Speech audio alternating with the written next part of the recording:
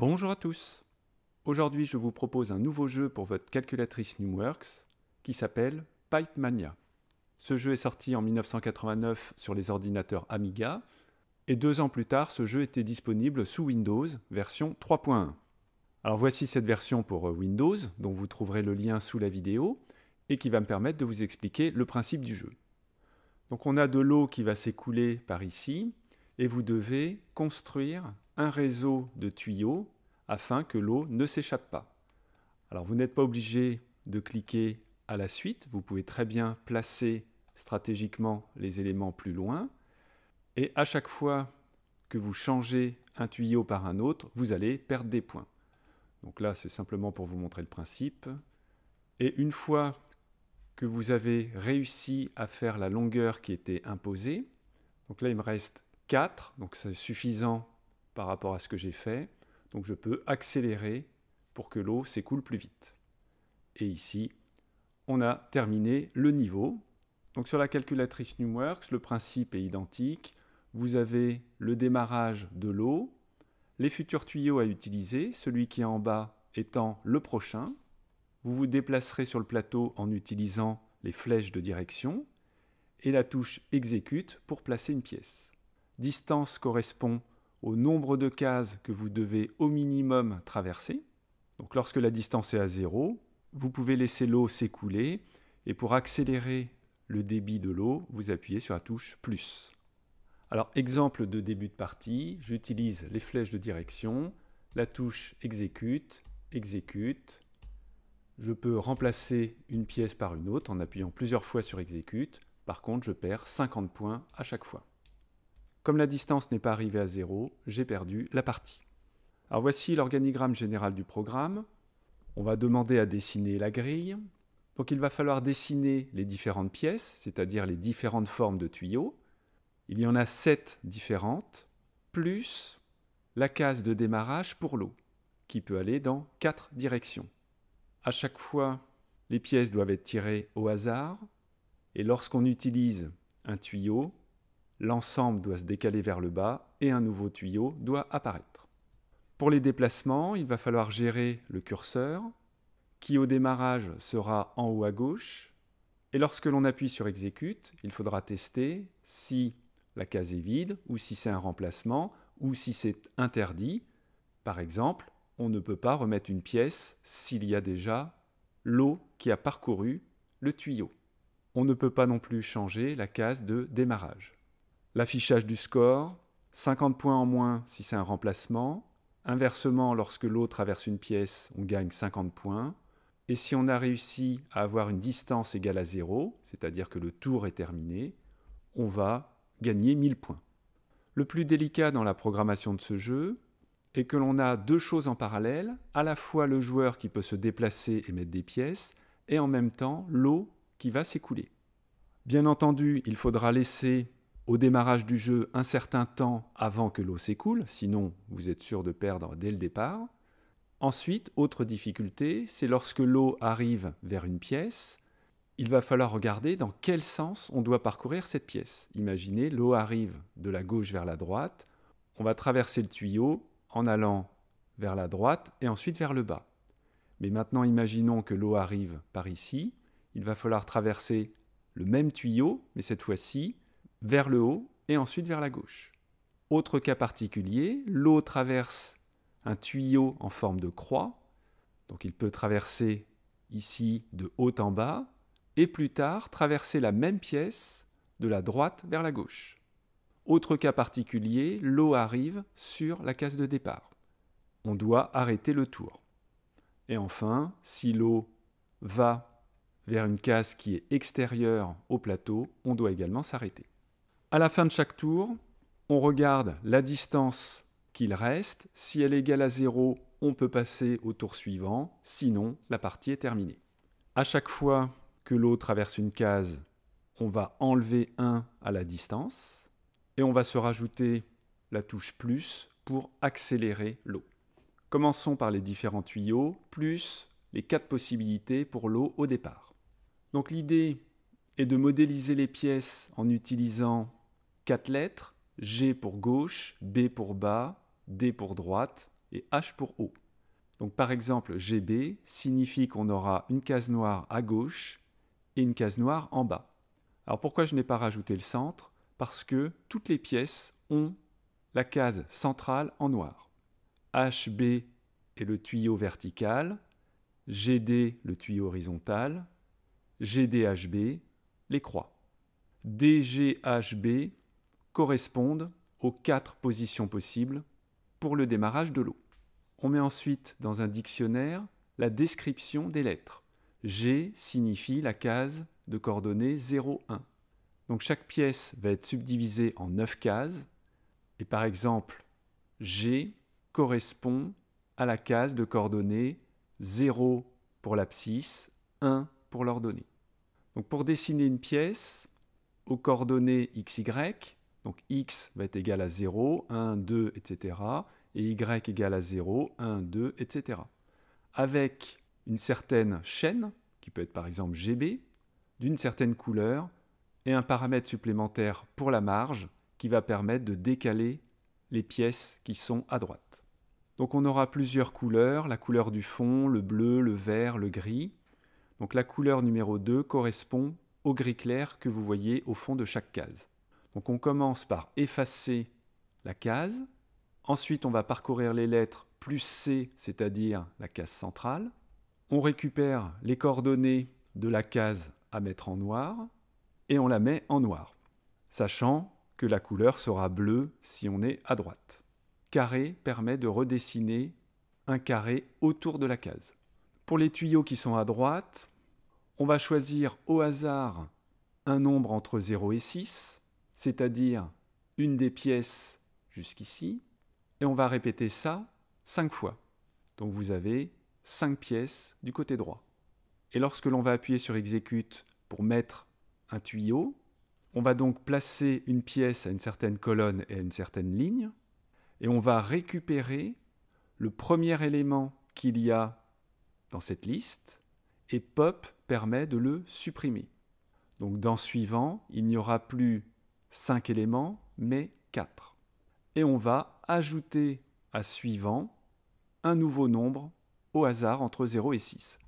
Pour les touches du clavier, en particulier pour les flèches de déplacement, on va devoir gérer deux choses. Est-ce que la touche a été relâchée? Par défaut, on va dire que c'est vrai. Et pour éviter que le jeu aille trop vite, on va utiliser monotonique pour temporiser l'ensemble. Donc la fonction carré que l'on a vue tout à l'heure permet de dessiner un cadre autour d'une case avec une certaine couleur. Pour nous, en noir ou en jaune.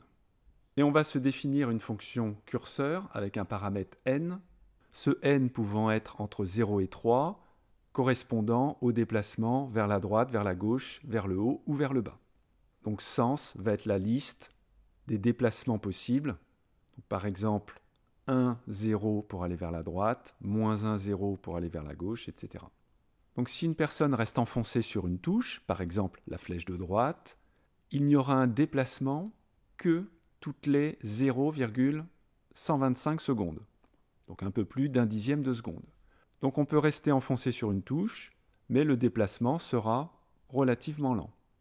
Donc on remet le temps à monotonique, ce qui va forcer d'attendre à nouveau 0,1 seconde.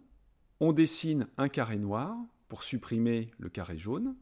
On se déplace en X et en Y et on redessine un carré jaune. Et dans le programme principal, on va tester. Si on appuie sur la touche de droite et que l'on n'est pas arrivé à la dernière colonne, on va donc déplacer le curseur en utilisant 0 donc sens 0 va être déplacement vers la droite. Si c'est la touche de gauche et que l'on n'est pas arrivé à la colonne qui est à gauche, on déplace le curseur avec le paramètre 1, et donc sens 1 correspond à un déplacement vers la gauche. Pour le score et pour le but à atteindre, donc la distance à parcourir, si la personne change de nombreuses fois la même case, elle va perdre à chaque fois 50 points. Donc il ne faudrait pas que le score arrive dans les négatifs. Donc on va prendre le plus grand entre 0 et le score plus un certain nombre. Donc l'avantage de cette fonction, c'est qu'on va pouvoir ajouter des valeurs en mettant un n positif ou au contraire enlever des valeurs au score en mettant des valeurs négatives. DT correspond à draw string, donc l'affichage du texte. Le texte va être score suivi du score à la bonne position, la bonne couleur avec un fond. Donc color 0 correspond à la couleur que vous voyez au fond du jeu. On affiche un peu plus loin, donc à l'abscisse 180, la distance qu'il reste à parcourir. Donc on peut avoir un changement de score avec un nombre négatif si on cherche à remplacer une case et que cette case n'est pas égale à moins 1. Moins 1 étant la valeur par défaut lorsqu'il n'y a rien dans la case. Inversement, à la fin d'un tour, si la distance est égale à 0, donc on a réussi le tour, on va augmenter le score de 1000 points. Et on va afficher touche OK au milieu de l'écran pour passer au niveau suivant. On arrive au problème de la gestion de l'eau. Pour cela, on va se définir trois paramètres. Quel est le délai à attendre avant que l'eau s'écoule? Donc on va avoir un délai par exemple de 8 secondes au départ, le temps que le joueur place des tuyaux.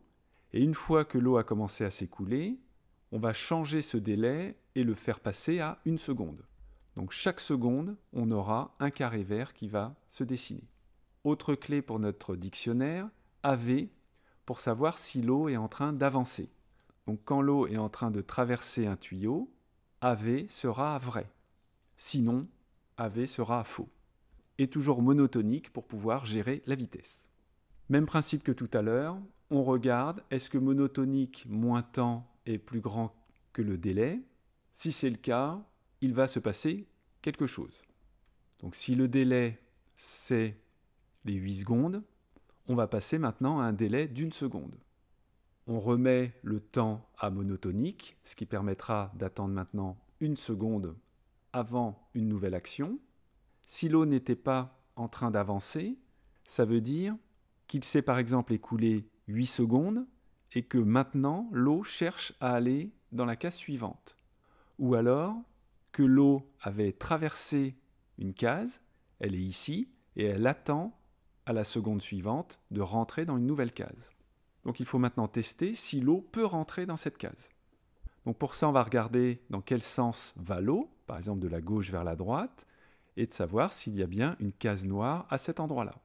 De tester également si on n'est pas au bord du plateau et si on n'est pas sur la case de départ. Donc ce sont les différents tests que l'on voit ici. On se met sur la case à tester, on regarde si on est bien sur le plateau, on récupère la valeur qu'il y a dans cette case, sachant que si cette valeur est entre 0 et 6, c'est un tuyau classique. Sinon, si la valeur est plus grande que 6, on va mettre run à 0, run correspondant à un tour de jeu. Pour savoir dans quel sens on doit parcourir le tuyau, on va récupérer sa description, par exemple gauche-bas, et si par exemple l'eau a besoin de rentrer par la case qui est à gauche, on va tester si la lettre G est bien dans la pièce. Si c'est le cas, on doit regarder si le tuyau est en forme de croix. Alors pour le savoir, il suffit de regarder la description de la pièce. S'il y a quatre caractères, c'est-à-dire cette pièce-là, on a bien la croix. Et donc imaginons que l'on rentre par la gauche, il va falloir ressortir par l'inverse de gauche qui est droit. Donc la traversée, ça va être gauche, droit. Donc la fonction inverse, vous l'avez ici. L'inverse de gauche, c'est droit. L'inverse de droit, c'est gauche. Pareil pour les deux autres. Alors pour les autres pièces, prenons par exemple celle-ci, qui a comme description gauche, droit. Si l'eau arrive du côté gauche, l'eau va bien faire gauche et ensuite droit. Si maintenant l'eau arrive de l'autre sens, on doit faire droit et ensuite gauche. Alors on va regarder si l'endroit où arrive l'eau, donc soit par la gauche, la droite, le bas ou le haut, est différent de la première lettre qu'il y a dans la description de la pièce. Donc si l'eau arrive par la gauche et que la pièce c'est gauche, droit, pas de souci, l'eau va bien aller dans la case gauche, ensuite dans la case de droite. Sinon, eh bien, il faut inverser la description de la pièce, donc droite-gauche, pour créer la nouvelle description. On va être à l'étape 0 pour la traversée de la pièce, sachant qu'à chaque fois il y a trois étapes, étape 0, étape 1, étape 2. L'eau est bien en train d'avancer, on augmente le score de 50 et on va remplir avec du verre au bon emplacement. Alors on a plusieurs fois run égale à 0. Le premier correspond à ce if, c'est-à-dire que si l'eau doit arriver par exemple par la gauche et qu'il n'y a pas la lettre G dans la description de la pièce, le tour est terminé. Deuxième cas, c'est si la case où l'eau veut entrer n'est pas un tuyau. par exemple, une case vide. À nouveau, on arrête le tour. Et troisième cas, on n'est plus sur le plateau. Si l'eau est déjà en train d'avancer, on va donc continuer la traversée. Et lorsqu'on arrive à la troisième case verte, donc il y a toujours la case centrale à allumer, on va remettre AV à false. Donc ça se traduit par sinon, l'étape augmente de 1, on rajoute encore 50 points pour le joueur. Si on arrive à l'étape 1, c'est la case centrale. Sinon, on remplit la troisième case. Et si c'est donc la dernière étape, on remet l'avancement à 0 et on récupère le sens de déplacement de l'eau. Pour gérer la touche plus qui permettra d'accélérer la vitesse de l'eau, donc si le joueur appuie sur la touche plus et que l'eau est en train d'avancer, le délai qui par défaut était de 1 seconde va être divisé par 1,5. Donc cette valeur-là va diminuer et donc on fera plus souvent tout ce qui est ici. Voilà, vous avez les éléments principaux pour comprendre ce programme et je vous dis à bientôt.